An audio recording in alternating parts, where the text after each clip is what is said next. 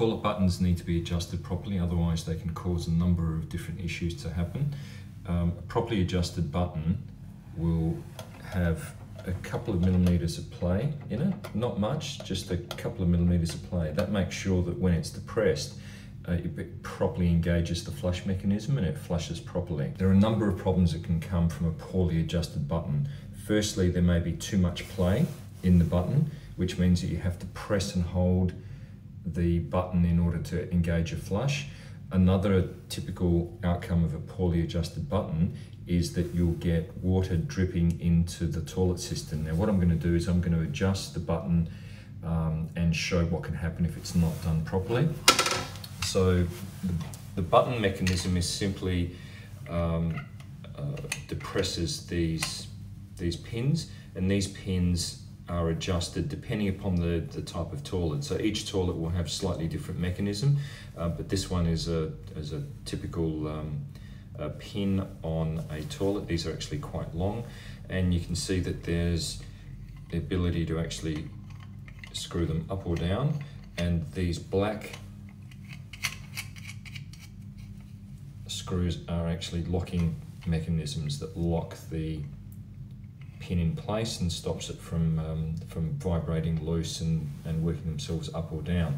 So I'm going to make this one a little bit longer and put that back on the toilet and you can see or hear that we're now actually causing the water to overflow and you'll hear the toilet cistern turn on every so often. The reason that's been caused is that the, the pong is actually depressing on the flush mechanism. Right there.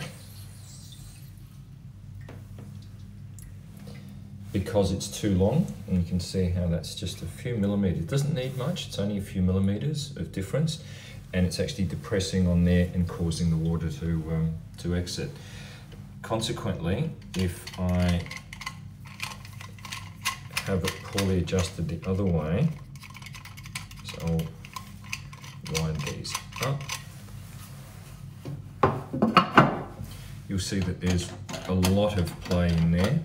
And what happens there is that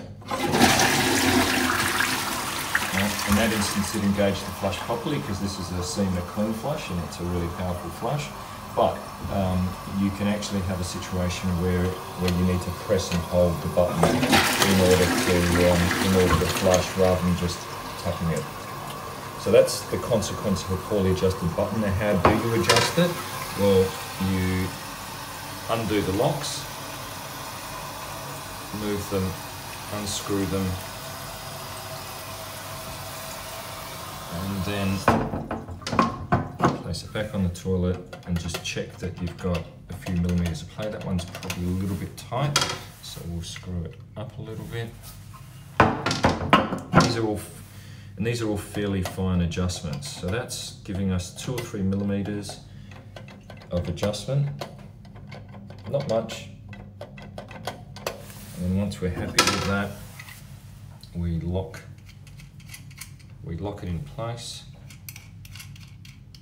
so that it's not accidentally adjusted later on.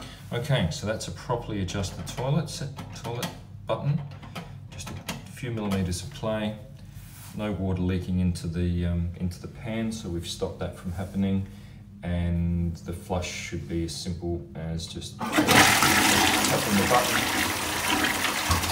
and there we have it.